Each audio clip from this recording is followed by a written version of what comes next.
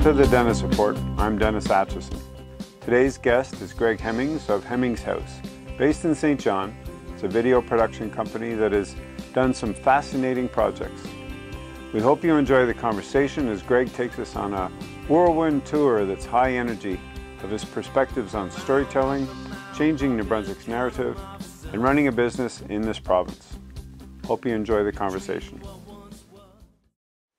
One of the themes that comes up for New Brunswick is it needs a new narrative. Because, um, for example, Maclean's magazine does something that uh, last year it was brutal. Yep. It was just, do you remember it? Well, I was involved with that piece. Really? Okay, so in if you look at that Maclean's article, that was brutal to New Brunswick. Um, the very last interview, so the last sentence was me. They interviewed me for, and I was the only guy that had a positive swing on the whole thing. So the guy interviewed me, and I swear the interview went for two hours or more, even. Like it was a long, robust interview, and I was talking about all the things that are really cool that are happening in, in the province, acknowledging challenges, of course. You know, we don't want to be blind to that, but um, I just gave him so much great material of cool stuff that's going on. And but now I'm really happy that the editor left my at least put me in there because I was the only you know positive saving grace in the whole article. Uh, and but there's something else that was interesting about it too, which really made me learn a lot about how this type of sensationalized journalism works. Is uh, really the journalist was a really good journalist, great interviewer, um, and he did his research. The thing is, is he was probably put on an assignment to get a negative story, mm. right? Mm. So I met the photographer as well because he wanted to take some shots of me because I was one of the potential people. So yeah. we're getting shots all over St. John, all this beautiful brick and beam and great shots, you know. And I was just so proud, you know. Yeah.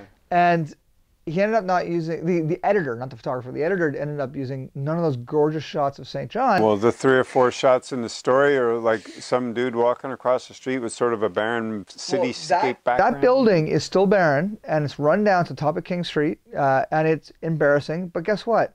That's one building out of an, uh, an immense amount of gorgeous buildings and uh, renovated buildings that commercial properties, uh, Historica, uh, Creative Soup with the Revolution folks, uh, uh, Derek and Terry. All these people are doing so many cool things with buildings in St. John, and they show that, that rotting one at the top of King Street. Yeah. Now, just really quickly to finish that story, I met with Jerry Pond, um, I don't know, a month, oh, a couple months ago or something and he said, Greg, you should go with a VR camera, which I did. Go exactly where that angle was at the top of King Street. And if it's a VR camera, yep. you can actually look around. Uh, so I did that. I, I, haven't released it yet. Maybe maybe I will sometime. But I, I stood at exactly where the Maclean's article was. I put a digital imprint. Yep. You, you, saw the guy walking across the street. And I told everybody, look around. There's a beautiful park here. There's a ton of people in it oh look, there's a brand new uh, renovated UNB building right here. There's like there's so much life going on here. But those angles are they sell advertisements, they sell magazines on sensational things. So anyway, that's what we're working against. That's what we're fighting against. It's cool. And, and here's what Maclean sees. And you know, Maclean's picked that piece of the whole dynamic across the, the full range, which which is an interesting story because New Brunswick's had an uphill battle for a long time with getting national recognition or any, even national balance. You know, whether it's whether it's uh, by population, I'm wondering into PEI has its hooks, and everybody thinks PEI and they smile. Whether it's potatoes or Anne or golf or red and green, you know, eh. Nova Scotia's got its version. Oh, let's go down east, listen to some kitchen party music, drink some beers, have some lobster, and go to Peggy's Cove. New Brunswick, it's what's our thing? talk, yeah, talk about a wide open opportunity for yeah. for rather than it's a detriment. No, it's wide open for us. Yeah. Thoughts on that? Well, uh, a couple of things. We are a drive-through province, and that's a problem that we've created, mm. uh, and I can go into that a little bit later on. Uh, we have incredible beaches, like world-class beaches here. We've got world-class waterfront. Like I just yesterday, I went to St. Martin's, and the the Fundy Parkway. Yep that's our version of the Cabot Trail. Yep. And as soon as that last segment gets connected to Fundy Park, like the stuff that we have yep. goes head to head with all these other regions that people just drive through us. Now, um, is it more than just rebranding? Yeah, it's an attitude shift, and it's our fault. It's nobody else's fault but ours because we are the ones that say, um, like for example, your wife moved here from Toronto, right? Toronto. When she came, I guarantee you, someone said, "Why would you move here?" I'm sure at least ten people asked her that. Does anybody really live in New Brunswick? Right. So, but we are the one perpetuating and creating the stereotype uh, by being negative about our assets. And all you have to do, in my opinion, is ask somebody you know that has a boat, canoe, sailboat, motor, whatever, and get out on our rivers and look at your city from that perspective. Yeah. And uh, it's a strange little request, but it is. You see this province from the water in such an epic way, and that's one. That's one of many things to be crazy proud about. You know. Here's a fun little riff on that theme of you know get on the water and see it from the other perspective. Um, in Fundy National Park two years ago, walking on a trail, meet some people coming the other direction, um, mid 60s or so, uh, thick accents, German accents as it turned out. How much further to the waterfall? They wanted to know if they could make it. Yeah, you make it. Where are you from? Oh, from New York. So curiosity peaked. What brings you here from New York, right? Oh, we like it here because no one knows it's here. The next day, we're at the little coffee shop in Alma. That's awesome. I can't remember its name right now. Young couple, mid 30s, have all the kit from Mountain Equipment Co-op and all that stuff from Vermont.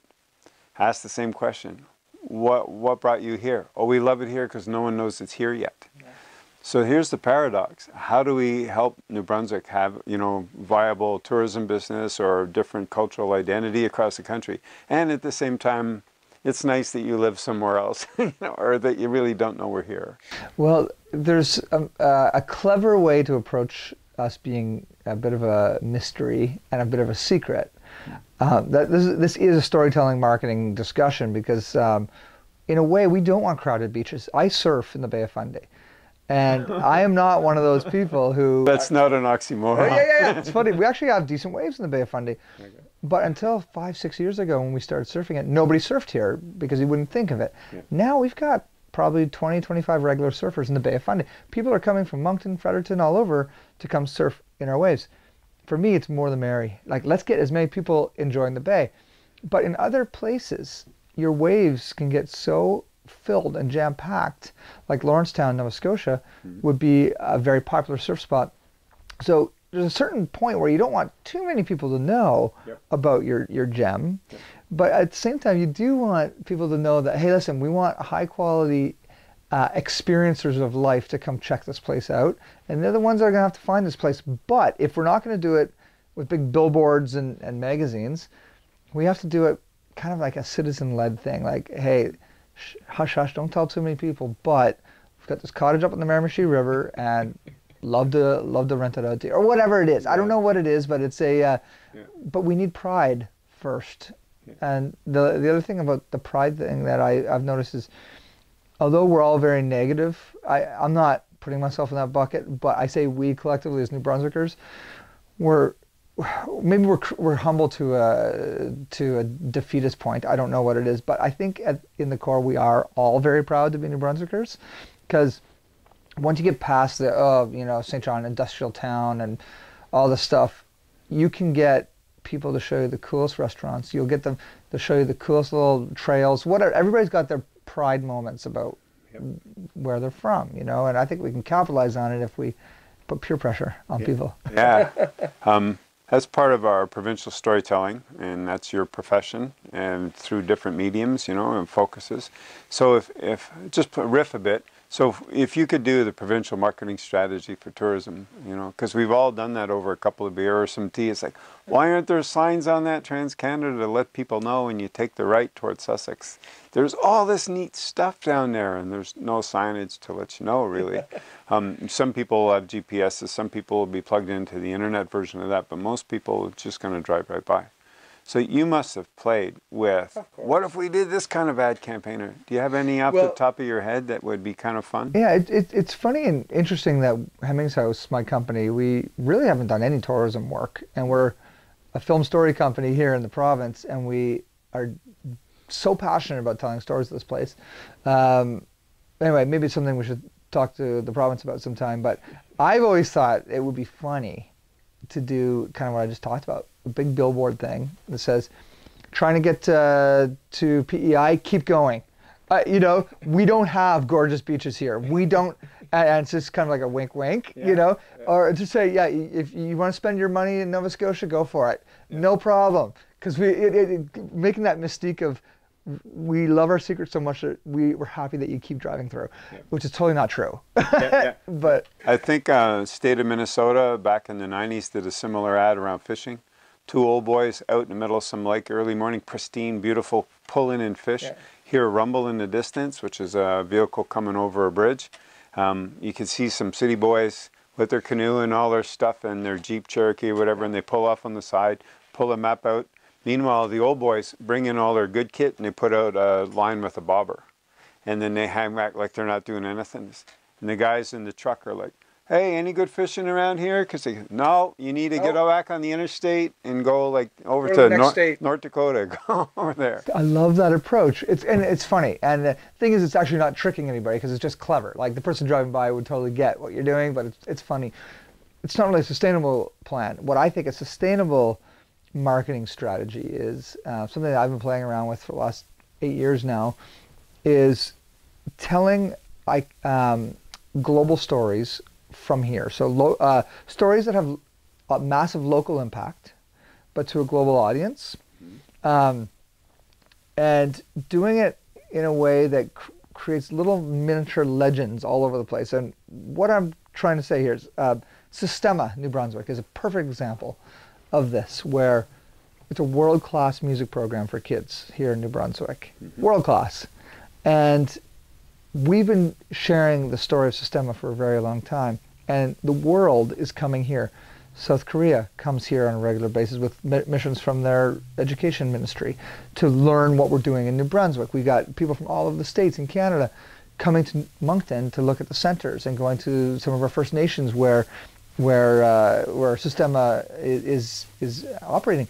We are we are a world class program here, but without storytelling out to a global audience, um, nobody else is going to know what's going on. So people in the music world, the elite of music education, they know where New Brunswick is, Yeah. for sure. So how do we take different and we've we've played around with coding as well and technology and education with Brilliant Labs with a film called Code Kids that we did. So how do we look at what some of our world class assets are around New Brunswick that we're doing anyway? We don't have to invent them; they're already here. Yep. People are doing some really cool things, and how do we make them legendary in their circles? So really, it becomes an attraction of this is the place where they do this the best in the world.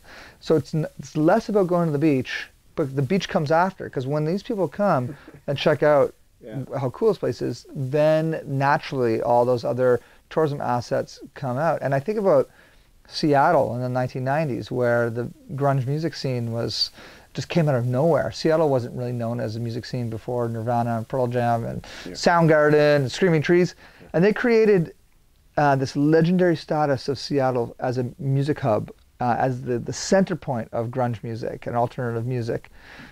I love what they did there. It, it's not that they planned it; it happened Yeah. we can accelerate things like that in New Brunswick, and the more we do that, the more we share with each other. Hey, look what uh, look what Jenny's doing over here in her world. She's a world class whatever, and he's a world class this. How do we share those stories? And it starts with us sharing them with our with ourselves within New Brunswick. It also sounds too like you're tapping into authentic voice. Um, It's not a branding strategy. It's not a marketing campaign. It's just here's who we are and how we do what we do. That's right, and that's a storytelling uh, philosophy, and we are great storytellers. We are maritimers. We are some of the best storytellers on earth, right? And uh, if we can't afford a big snazzy marketing campaign, Yeah. who cares? Why don't we shift those dollars into let's I don't know what the tourism budget is. No idea. But let's let's pretend it was a million dollars. Let's just pretend. Yep. Can you imagine if that million dollars was there to do one thing, to promote best case uh, studies that, of, of cool things going on in this province on social media? Simple as that. And with with small little thing, little, little videos and campaigns, but little tiny micro inputs have nothing to do with tourism at all, but everything to do with the innovation that's happening in this place, the energy, the entrepreneurship, the art, all of these. The, the multiple themes from um, um, affordable housing strategies, Oh. economy shifts that are possible, uh, biofuels and uh, bioeconomy to, to forestry. prac- Like we could pick 15 or 20 different themes and just let that spread out. Well, you had Amanda Hashi on uh, talking about New Labs, and New Labs is a world class experience. What's happening here? Like, who does that? Who experiments with all these things? And like, that's the beginning of a model that people are going to copy. That's awesome. Yeah. The, um, the impact of storytelling, um, where does it come from for you? I think for me as a child, I've uh, I was always the documenter. So I had a band when I was a kid, and I was the one that kept all our band posters and videos and photos. Um, we had a tree house. I uh, I was the one that would, you know, make maintain it and make sure. I don't know. There's always this this sense of maintaining some sort of legacy. Yeah. And like in high school, I was in the yearbook. Um, all this the stuff, especially in the music industry, because I'm a musician as well, and I I re- recorded, documented, I filmed over 2,000 hours of live music over the first few years of my business. Um, Can I interrupt a second? Yeah. What, what'd you play? The grunge stuff you mentioned from. Um, yeah, like in in high school, I was in a band that was kind of that ilk, but with a with a real strong influence of like '70s blues rock as well. Uh, now I still play in a band called Fox Farm, and we're a little bit more. Uh, a little bit more of a Radiohead, Wilco type of thing. It's kind of hard to explain, but uh, still having a lot of fun doing that. but I think the storytelling element just came out of my desire to retain something, not like a hoarder. Like I don't like keeping stuff, but how do we keep the story alive? And this digital place is, you know, on the internet. Amazing. We can we don't have to keep a whole bunch of photo albums around anymore, but we can keep the stories alive. And So did your 2,000 hours turn into something?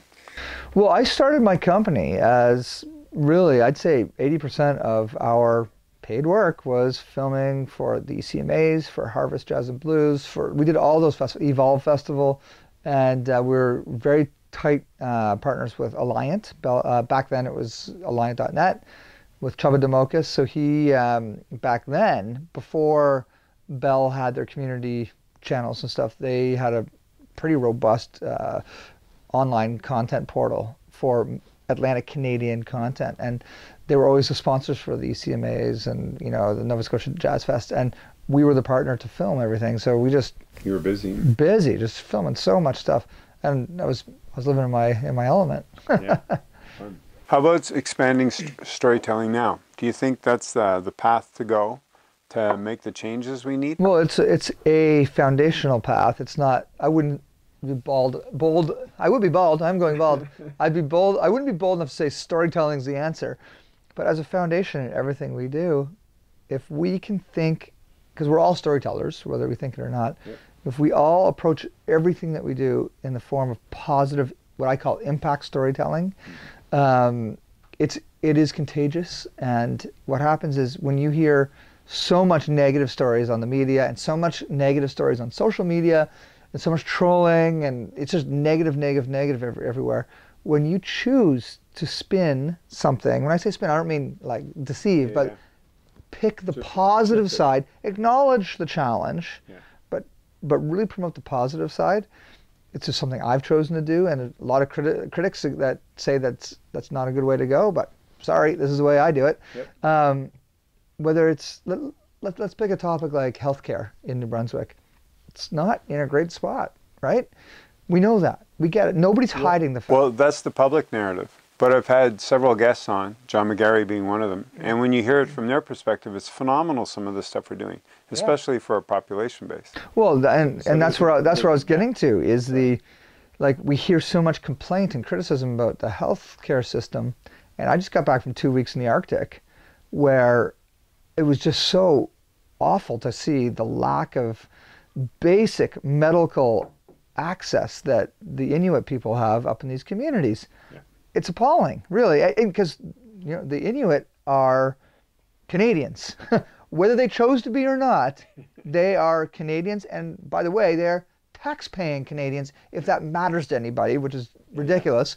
But that being said, you would think if we've made arrangements and deals to make sure that they're Canadians and they're tax-paying Canadians, that they'd at least have access to developed world healthcare. They don't. Uh, they're trying. They're, the internet is a the lack of internet is a massive problem. So I recently wrote a blog just a couple weeks ago about saying how blessed we are in New Brunswick with our health care, despite all of the challenges, but like we are quite entitled. Uh, and we don't know that until we go to a developing region and then reckon. So my side is let's let's promote the positive as much as we possibly can. Yeah. Um, and the role of narrative in all of that. Um, here's a, a, lovely little paradox because technology, in some senses, will uh, bring us closer together, and at the same time, it might um, put us in our little cubicles, you know, or our little uh, phone boxes. Um, so this popped up today on Facebook for me. I thought, oh, this is perfect. I'll throw it at Greg and, and see where it goes. Mm-hmm. So it's a George Orwell quote. Um, we'll throw it up on the screen. It says, "The people will not revolt. They will not look up from their screens long enough to notice what's happening." From George Orwell's 1984. Incredible. So I'm so relevant. yeah. so there's a, a lovely conundrum in that on one hand, you know, we can sit in any restaurant, bar, or any public place and see everyone on their phone instead of having conversation. and yet at the same time, there's such a hyper awareness of conversation, but through that platform mm-hmm. or through those mediums, and and it is more connected. So it's almost like what's missing is the heart of it. There's the mechanics of it, but where's the heart of it? And that could become a foundational piece, like you just said, for shifting a whole provincial narrative. Yeah, well, I think that uh, what's going on in this meme uh, is really interesting because we are so hyper connected in a good way that we can share stories way quicker and way more impactful than ever before. And having conversations with people from around the world or from different communities on social is becoming critically important on not only on a business level but on a personal level. This is how people are socially communicating. The the challenge I see with that is and I think it's going to adjust, it's starting to adjust now, is we're losing that face to face art, the art of uh, human interaction and communication. But I, I'm not afraid. It's coming back. Like there's going to be a balancing where, like for for example, when I go to a conference, as an example, I go to a lot of these things.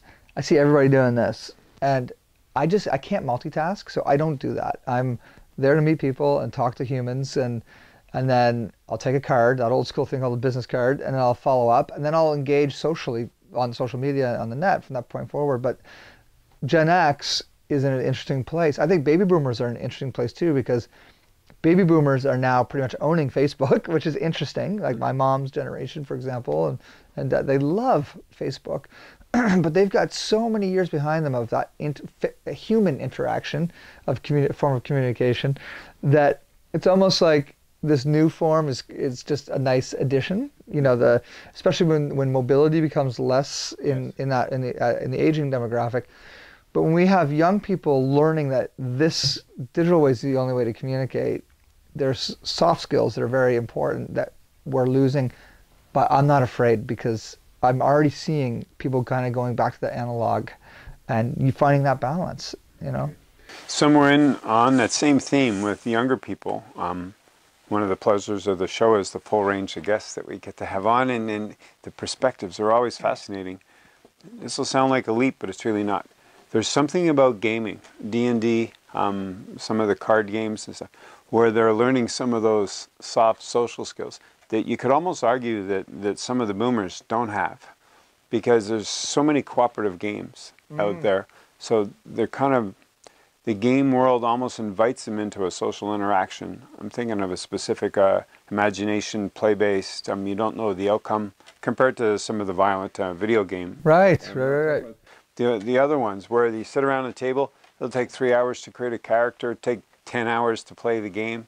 You know, yeah. that's extended periods of play where they're learning all kinds of cooperative well, it's interesting because I, I, was never a gamer, um, but I've had I've always been in the social groups of gamers. Yeah. And uh, I've always had a respect for for the gamer culture, whether that's analog, uh, like the old Dungeons and Dragons style, uh, or um, what was the uh, what was that amazing war game? Um, oh my gosh, what an embarrassing Warcraft? thing to forget. Warcraft? No, no, it was. Uh, oh man. Risk.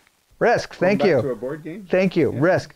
Whether it was that form or yeah. or you know multiplayer digital you know uh, gaming in that regard, I think it's as a, as a storytelling platform, it's amazing, and because of those social connections that happen, hmm. I don't think we should be afraid of these things. I think it's a it's a really cool way that we are going to be able to make the world a better place.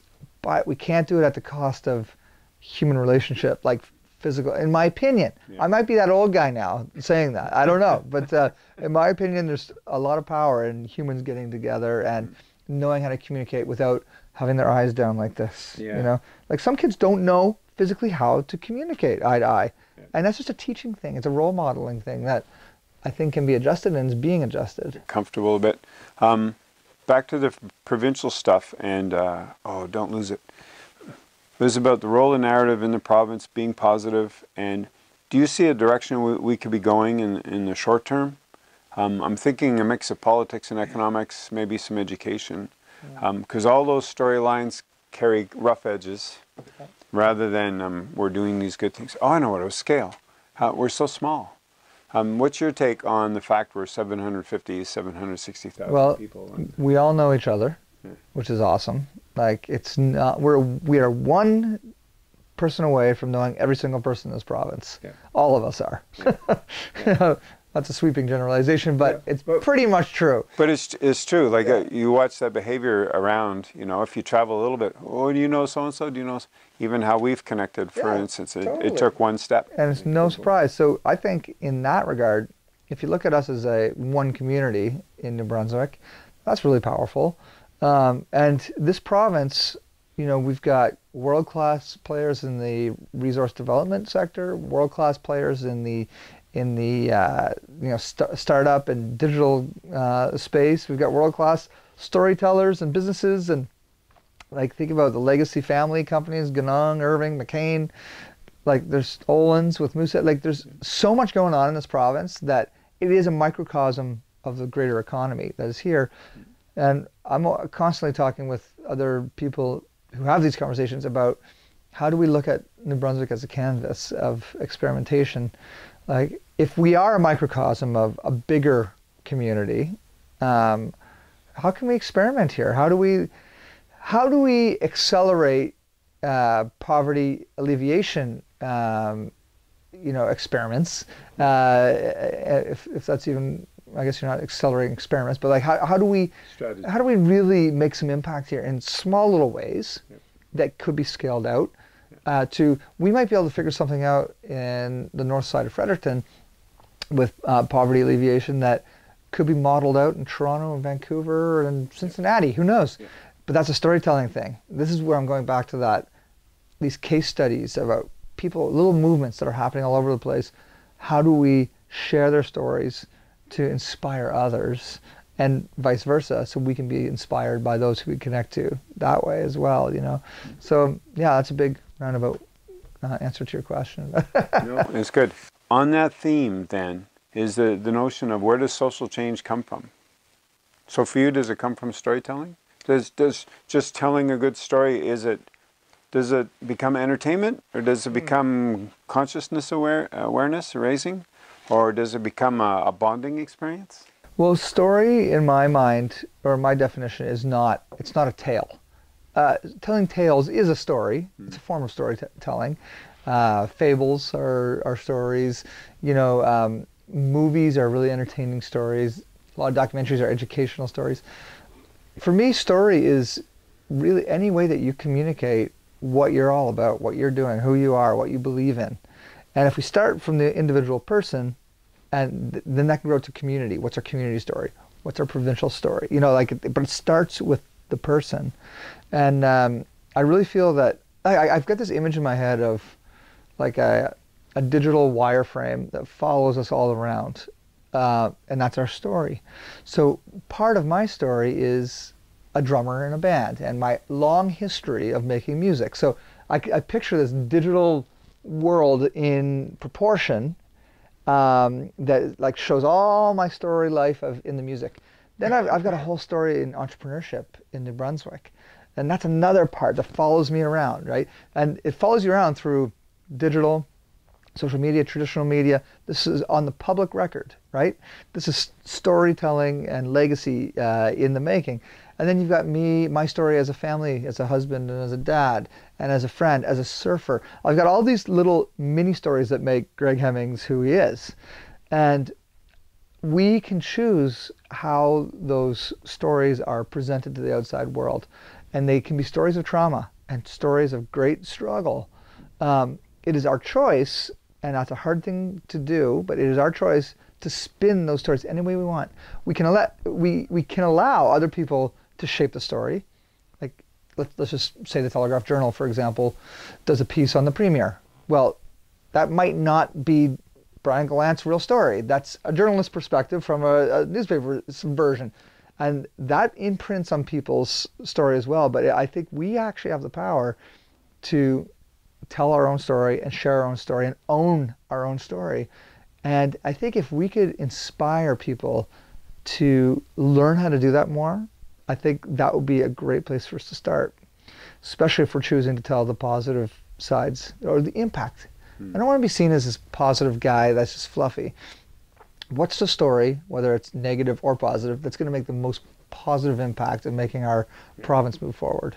For you, integrated into the storytelling is, and you talked about impactful and positively so, is that do you have any examples or instances where, where um, it created that concrete social change? Because it's as if we're on the cusp of a new way of doing things. So some of it is we have to let go of the old way, mm-hmm. which leaves us in a quandary. Okay, now what? Where do we go? For some people, that's really exciting because now we get to play again and get to create again. For other people, it's scary as all get out because this is the way we've always done it. Mm. This is the way we've always approached poverty. This is the way we've always approached politics. This is the way we always approached um, how we know our own province. But all that shifting, we, we can't say it's not shifting anymore. You can't miss it the yeah. past five years. So does storytelling emerge as one of those, uh, you called it foundational piece, as as where the real concrete social change is finally going to start to mm-hmm. surface? Mm-hmm. It, it, totally is because when I think about uh, how do we get people on board, the last thing I ever want to do is say, the old way is wrong, the new way is right because then nobody's going to only 50% of the people are going to be on board with you so instead of just instead of even being in that argument at all finding stories and choosing to tell stories that are proving the new model and really supporting that and those people um, is the way to go so let, let's use sean dunbar at picaroons as an example well, Sean's not unlike a lot of other entrepreneurs in this province, or not unlike a lot of other microbrewers around the country. Um, but he was the first in my mind. Now, there might maybe one of the first um, people who jumped out of the status quo of beer making in this province uh, and started to bring that craft, the art, the artisan beer into this province many years ago. Mm-hmm. I don't know how many years ago, maybe 18 years ago, and the interesting thing about what Sean created was he had a new story because he wasn't big corporate. He loved beer and he loves the arts, right? So he just started to play around that space and like, I'm going to make good beer and I'm going to support the arts. I'm going to support live music or do my thing. And these other people who, who started to jump onto that, they're like, oh my gosh, whether they like the beer or not, they're like, look what they're doing. Um, I'm going to start talking with pride about have you heard about what this brewer's doing? This this guy like he's he's competing against some real big players in space and big respected players in space, and he's carving it a notch. We're very proud of this. This is why I'm proud of Fredericton because we have this cool microbrewery in town. Yeah. Once people start picking and choosing those those impact makers in, in, in the province, and there's a lot of them. Yeah uh, little tiny impact makers, and there's, they're, they're all around you. In fact, I would suggest all of us are them. We have a responsibility to lift those people up. And the people who are stuck in that old way, they're going to see enough people lifting up the new economy thinkers. And we're like, okay, pretty soon, if I don't jump on, I'm going to miss this boat, right? So we've got the early adopters, you've got the yeah. early majority, late majority, and then the status quo. And the people who are left behind, are left behind. Look at Sears. Sears is left behind because they did not innovate and they did not stay relevant. Yep. And uh, so storytelling and social change in this province is critical, but in the fact that we need to, I'm not saying promote, but support the stories of the champions of this place that are really doing good work. Um, change direction a little bit. Let's talk about St. John. You're born and raised yep. there. Um, city's gone through a lot the past 40, 50 years or so. Yeah. Um, you have thoughts about where the city can keep going? Because so much of it's positive. It's so many good things have happened. Mm-hmm. The media still want to harp about poverty rates because that story cycles every spring, every fall. Yeah, and that's okay because guess what? we are becoming world class hmm. in addressing poverty. Hmm. World class because we have such horrible rates of poverty. Hmm. That's a canvas of opportunity now. Yeah. And the cool thing is we're not leaving it as a blank canvas anymore. Yeah. There's so many amazing initiatives, and Living SJ, SJ is a is a group, that umbrella group that kind of pulls all these people together, all these organizations who are addressing it together. And BCAPI, there's like world class organizations and things that are happening in St. John to address it. So the media can harp on that all they want. In a way, it's a compliment um, because it's getting better. It really is, and uh, rates are improving because finally people are like, we've had enough. The business community are saying, we've had enough too. We're going to address this, and it's okay to continue living in struggle and challenge as long as we're doing something about it. Um, and the media is not saying that. They're, they're saying horrible poverty rates, but they're not saying horrible poverty rates. Look at these radicals who are putting their neck out to address it, and look at all the innovation that's happening. So I call my city. Well, first of all, I like calling it Surf City because I like surfing there. Uh, um, the other thing is um, on the nature side. I just love the Bay of Fundy, St. John and Kennebecasis River. I just got my sailboat in two days ago. I still have like these are working man's hands. I've got blue paint. Uh, anyway, um, so the nature side of my city, I love. Yeah. We recently did a documentary on CBC called City on Fire, and it was and it's on CBC online. You can find it. Just Google it, and uh, it is a great representation of a lot of these little St. John changemakers that love their city, and how that relates to Fredericton and Moncton and Miramichi and uh, Edmundston is there's champions in all of those communities Yep. that love their city, and they're doing cool things, and that's what the media should be p- uh, focusing on, or at least balancing on a little bit. I love our town. Or we will. Yeah. You know, we'll, we'll just go do it. exactly. And I am so impressed, like I said earlier, about the bringing back these old heritage buildings that um, so many people are doing in the city. The, uh, the uptown core of St. John is magical. And we mentioned Picaroons. The Picaroons General Store is a community meeting place, a center point. It's changed the spirit of the whole place. Now we've got all these cool little pubs and restaurants and, and arts things. It's amazing to see what a couple change makers like Picaroons, like Acre Architects, uh, and others who decide let's uh, let's get together and build something. Then you get Keith from Historica saying, "Hey, there's energy here. I'm going to start renovating these places so young people will start living uptown again because now there's stuff to do." Yeah. You know, and this this this uh, regeneration is happening, and it's, the energy's great. Yep. Lovely stuff. And in that context, you're running a business, and you've been running it for a, a while now. So you want to speak a bit to being, um, you know, a business person, or when you go through the website, which we'll put on YouTube and stuff. Great. Um, the uh, the number of people that work now in the shop. You know. Yeah, well, it fluctuates. For for many years, we had a, a full time team of 14, um, and in a way, that was a little bit of old economy uh, structure.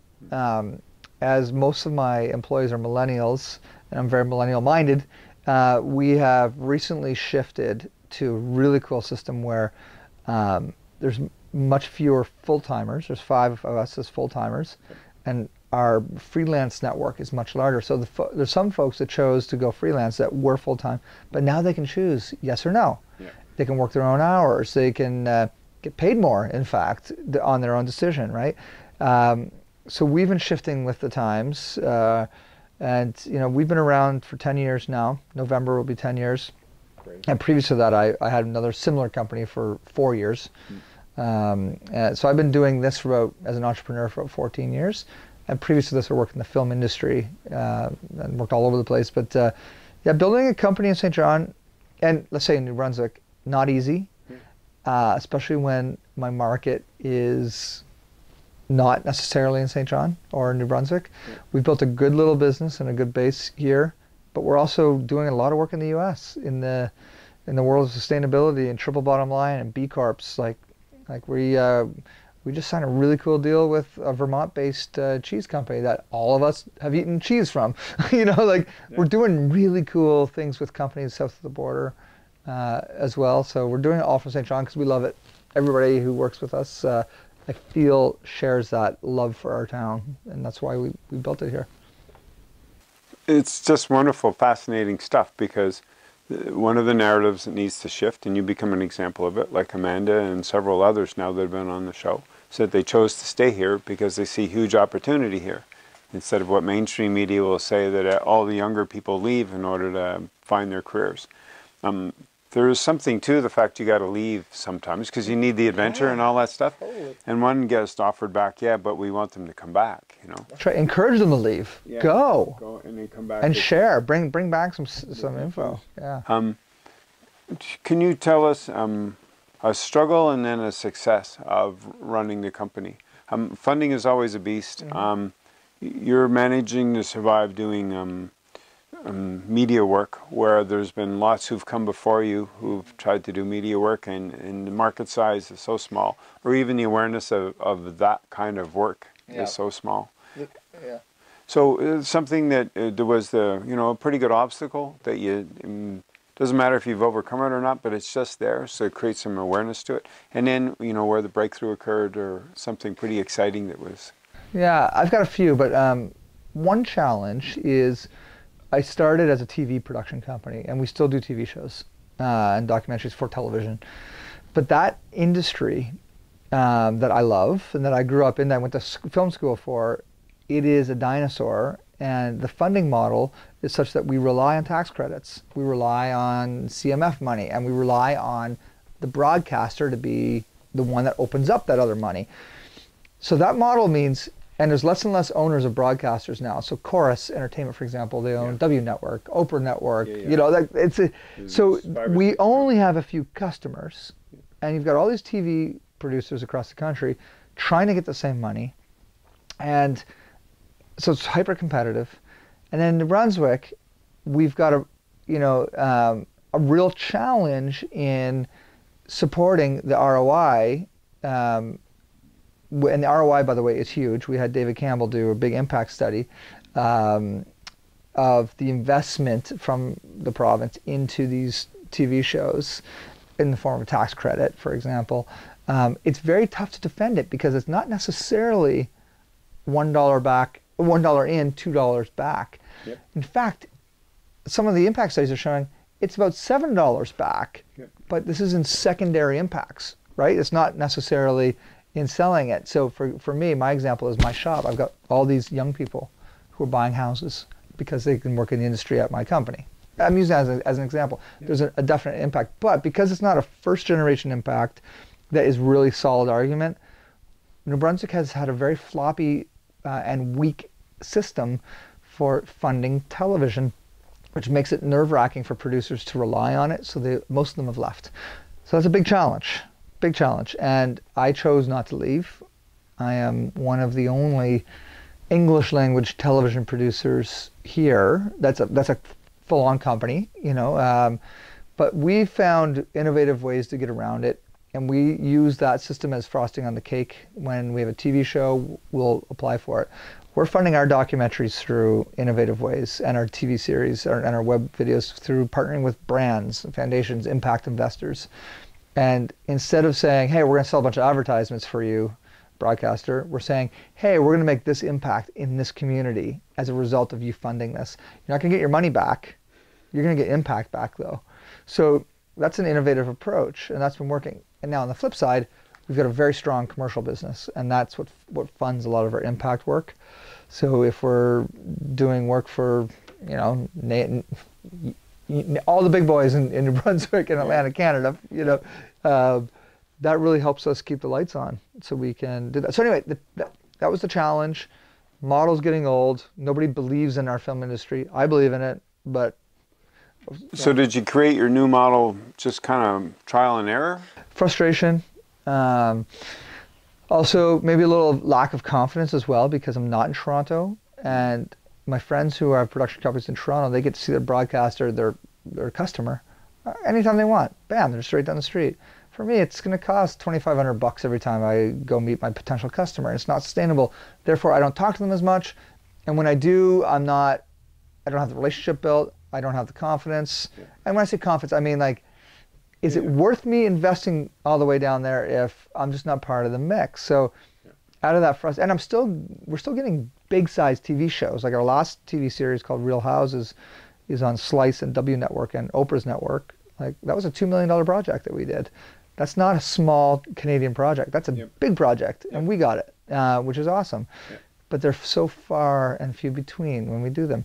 And the Antiques Roadshow, which your producer uh, that helps you with this show, your editor, did, um, that was a very large budget project, and that was a New Brunswick success story. Yep. Very few and far between these things. So that, that's the challenge.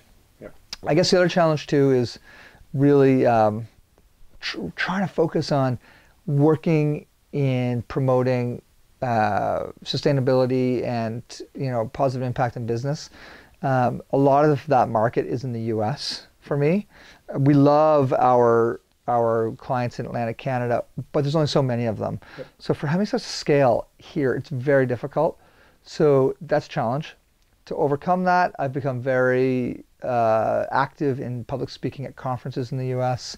Really active in blogging and podcasting. I need to get my voice and my story and what we can do as storytellers out to the world and still live geographically in New Brunswick. So these are a few challenges and a few solutions that we've been Yeah. iterating with. Do you have uh, one that you can hang as a, a success story, or one that gives you lots of excitement or juice, you know, back? I'd say the Millennial Dream was a real fun project that we did it for New Brunswickers. Not for now, for New Brunswickers first, for Atlantic Canadians second, Yeah. for Canadians third, and for Americans fourth, Yeah. and the world fifth. When you watch the film, you get you can watch the Millennial Dream on iTunes and on Amazon. So you just do a quick search. Um, when you watch the film, it's very American, um, even though we made it for New Brunswickers Yeah. if you're if you watch it uh, and you're an American from New York or from Ohio, you will feel it was an American uh, storyteller that, that told it using American statistics, American, American, American. Yeah. And we did that because we wanted to challenge the American dream and say, how is the American dream evolving? And so we took the American approach. We, we really didn't talk about New Brunswick much, but the themes that came out of it were so relevant to New Brunswick. We toured that film around around uh, this province and ch- helped change a new new uh, ch- narrative, really, a new discussion by having all these small focus groups and screenings and discussions. And then we took it across North America, and we we've uh, to date um, had five over five thousand individuals in small group settings across Canada and the U.S. sit and watch that film, and had myself or Jean Genevieve or Dave Alston or Marcel or Karina lead discussions after. And that's a New Brunswick initiative that's impacting cities as far away as San Francisco and San Diego and New York and Vancouver and Montreal. Like really cool. So that I would say that's a, that's a great example of us making local impact with global relevance. And that's what I'm all about. That that was great. That's a great way to encapsulate the the whole thing. Um, so what's next? What's what's coming on your plate for? A ton of stuff is on the plate. A lot of really small, cool projects. One of them is we are just launching into a pilot to start um, uh, an anti-poverty uh, campaign in St. John. Again, looking at some of these best practices, these models that are working in an, uh, in our rundown, stinky port town. You know, saying that to all the Frederictonians who, who, who, who think that of us. Uh, we're we're really going to show in documentary format, in small documentary format, some real kick-ass things that are happening in that space, and I'm excited for that project. So we're gonna we're gonna release that um, as we build it over the next year and a half, and uh, hopefully, if it works out, it's gonna as we release content, we're gonna continue raising money to make a full blown a full blown documentary like the Millennial Dream, and tour that around because it's so important for us to get our full commu- New Brunswick community on board with poverty in our own backyards. Yeah. Very excited about that particular project. And if anybody wants to stand on top of those things, uh, you're probably going to show this anyway later on, but just finding Hemmings House on Facebook is a good way to do it. My personal email, or sorry, my personal website is greghemmings.me. And when you go on there, you're almost forced to put your email in to join my newsletter. And I'm keeping everybody really up to date with where these cool projects are going Great. on that email list. Um, but if anybody's interested in, in following along or have, have some input, that's a good place to go. Great. Um, thoughts to close us out? I think what you're doing is awesome. You're doing your part, in uh, sharing this idea that storytelling is critical in in making this province even more successful than it already is. And uh, um, I think what you should do with all your future guests is encourage them to become ambassadors of storytelling in, in this province too, because you might be talking to a you know, a mill worker, for example. Well, that person is belongs to a union, and that union's strong, and that that union has power uh, to shift dialogues in their community. I'm just using it as an example. There's all these different types of people that have influence that are on your show that you should you should make it a challenge. You know, thank you for being on my show.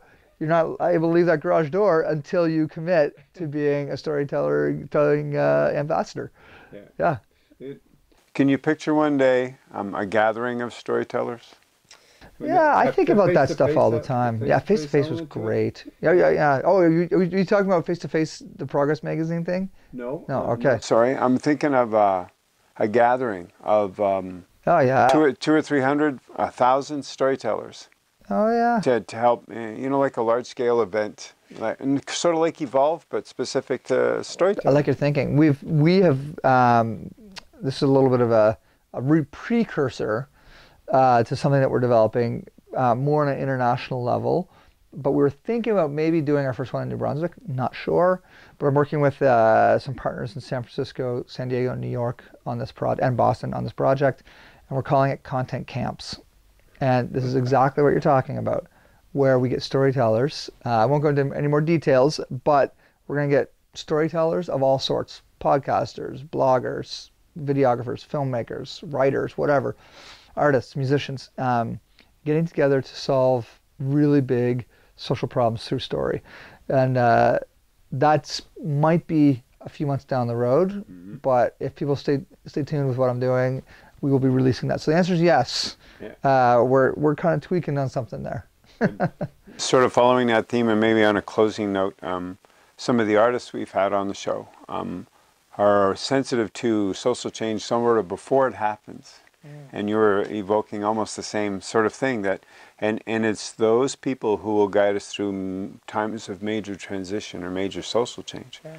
Um, so that sounds like a window for that to happen. Uh, I, I, like your thinking. It won't be it won't be a Burning Man though, will it? Oh, it could be. we got to figure out what to burn. But if we could burn all the old attitudes about uh, you know the lies that about how much we suck as a province, if we could burn those in a big tower, that'd be cool.